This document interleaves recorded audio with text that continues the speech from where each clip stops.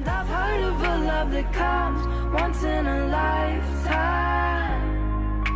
And I'm pretty sure that you are that.